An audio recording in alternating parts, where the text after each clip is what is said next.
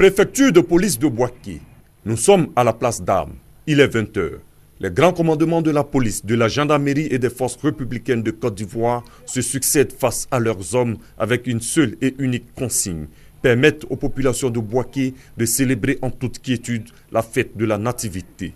Les ordres reçus, ce fut le déploiement des éléments sur le terrain. Les lieux de culte, de réjouissance, les principaux carrefours de la ville et bien d'autres sites étaient bouclés par cette opération spéciale.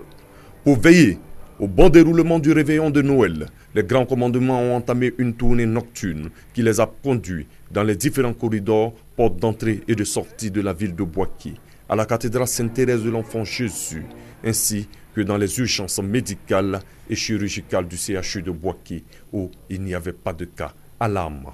La dernière étape fut la visite de certains maquis, restaurants et boîtes de nuit, une étape appréciée par la population. Aujourd'hui, on sent que vraiment il y, a la sécurité. On, est rassuré quoi.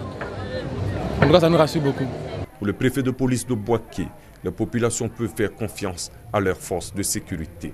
Aujourd'hui, nous avons une police, une gendarmerie, une euh, FRC, les forces euh, républicaines du Côte d'Ivoire, qui sont au service de leur population. C'est ça le signal fort. Donc tout ce que nous faisons, c'est pour ces populations-là et euh, nous sommes à leur disposition. L'opération de sécurisation de la fête de Noël à Boaké a permis d'enregistrer zéro cas d'accident et de braquage.